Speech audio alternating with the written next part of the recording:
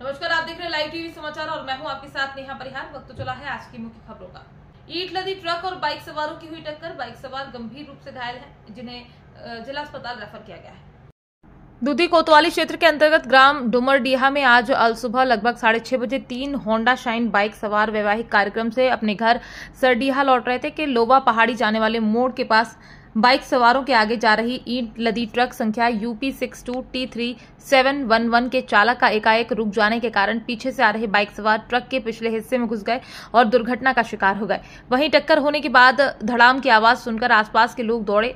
तब तक ट्रक चालक ट्रक छोड़कर मौके से फरार हो गया। बाइक सवार सड़क पर गिरकर खून से लथपथ होकर तड़प रहे थे, लेकिन किसी ने उन्हें अस्पताल नहीं पहुँचाया। थोड़ी देर बाद दुर्घटना स्थल पर अपने सहयोगियों के साथ पहुँचे हेमंत यादव उर्फ़ गोलू ने सभी घायलों को एक एंबुलेंस से सामुदायिक स्वास्थ्य केंद्र दूधी में ले जाकर भर्ती कराया, जहाँ उपस्थित चिकित्सक डॉक्टर बी के सिंह ने सभी का इलाज कर एक की हालत गंभीर देखते हुए जिला अस्पताल के लिए रेफर कर दिया। जानकारी के अनुसार संतोष भारती उम्र लगभग तीस वर्ष, पुत्र भगवान दास जिसके सर पर गंभीर चोटें आई हैं, एवं दाहिना हाथ फ्रैक्चर हो गया। वहीं पीछे बैठे ओम प्रकाश उम्र तीस वर्ष पुत्र रामजीत ग्राम सरडिया के सर में चोटें आई हैं। वहीं अमरीक खरवार छब्बीस वर्षीय पुत्र कैलाश ग्राम सरडिया को हल्की चोटें आई हैं जो अस्पताल से दवा करने के बाद घर चला गया। दुर्घटना की सूचना पर पहुँचे कस्बा इंचार्ज राम अवध यादव ने सभी घायलों की स्थिति को जाना और अग्रिम कार्यवाही में जुट। गए आपका? हेमंत कुमार यादव गोलू यादव। अभी डोमरडीहा गाँव में एक एक्सीडेंट हुआ था। जी।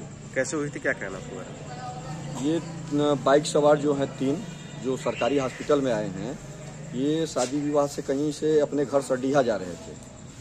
और इनके आगे आगे ईटा लदा हुआ ट्रक था, अचानक ब्रेक मारने से पीछे से ये जाके घुस गए हैं। जिसकी वजह से इन्हें काफ़ी चोट आई है। हमें 20-25 मिनट बाद सूचना मिला, हम इन्हें लेके आए सरकारी हॉस्पिटल।